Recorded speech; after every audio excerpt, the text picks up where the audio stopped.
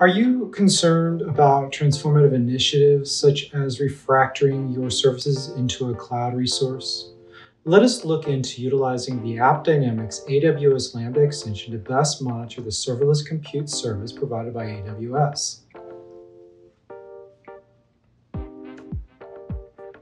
AppDynamics supports AWS Lambda functions written in Python, Node.js, as well as Java. The instrumentation uses a tracer module which captures performance data for each Lambda invocation, asynchronously transmitting it back to the AppDynamics controller. AppDynamics automatically instruments code written in Python, Node.js using an AWS Lambda extension, while for Java an SDK is used. These components provide application owners, DevOps engineers, as well as IT operations the visibility they need in order to be proactive when it comes to diagnosing issues that negatively impact the business. To get started, simply search the AWS Marketplace for AppDynamics Serverless APM for AWS Lambda. You'll need to subscribe and go through a simple sign-up process. Our documentation goes into this very clearly.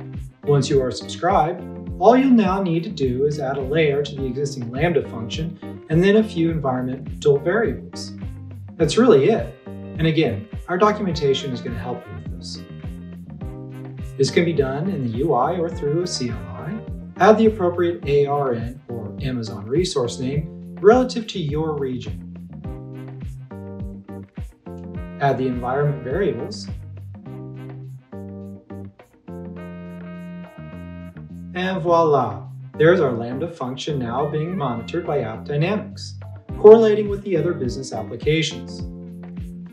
You can view your AWS Lambda function on your application dashboard and metrics pages, giving you the end-to-end -end view of your application through business transaction correlation.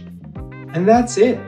I hope I have demonstrated how easy and quick instrumenting an AWS Lambda function can be using the AppDynamics AWS Lambda extension. Happy monitoring!